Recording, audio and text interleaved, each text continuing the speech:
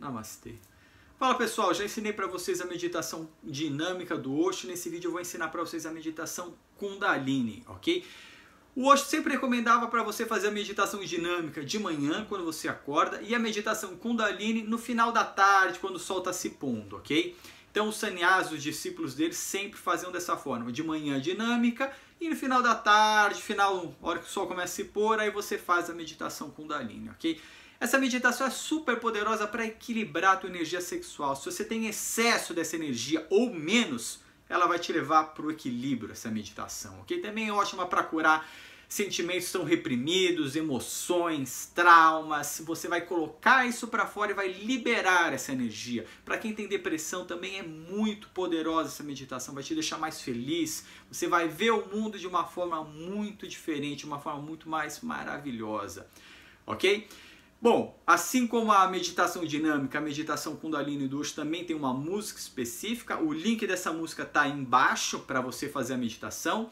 E essa meditação é dividida em quatro estágios. Cada estágio são 15 minutos. Primeiro estágio você vai estar de pé, você pode estar com os olhos abertos ou fechados, você vai sentir a energia subindo pelos seus pés, sua perna, pelo corpo, você vai chacoalhar, vai deixar essa energia fluir, ok? Por 15 minutos, enquanto a música está tocando, você vai ficar lá.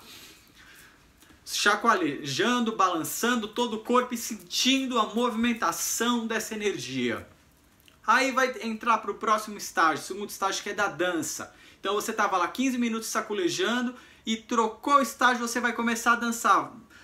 Olhos abertos ou fechados, vai sentindo a música, sentindo frequência e vai permitindo essa movimentação. Você vai somente entrando e unindo a vibração da música, ok? Por mais 15 minutos. Depois você vai ficar paralisado, que é a terceira etapa, por 15 minutos também você pode sentar em posição de meditação, pode ficar de pé. Eu recomendo que você feche os olhos neste momento e apenas observe. Apenas sinta a movimentação de energia no teu corpo, ok? Sinta aqui a cura movendo, sinta o que estava bloqueado desbloqueando, sinta o equilíbrio, ok?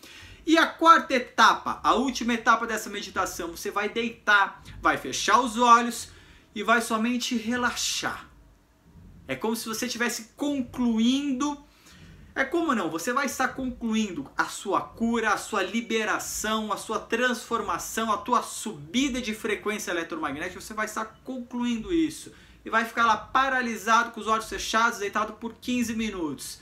Hora que acabar, eu sempre recomendo você levanta as mãos, gira os pulsos, gira os pés, esfrega as mãos, o pé, alonga para um lado, alonga para o outro, abre os olhos devagar. Por quê? Porque você alterou a sua frequência eletromagnética. Provavelmente você está numa frequência mais baixa. No que você fez a meditação, você subiu.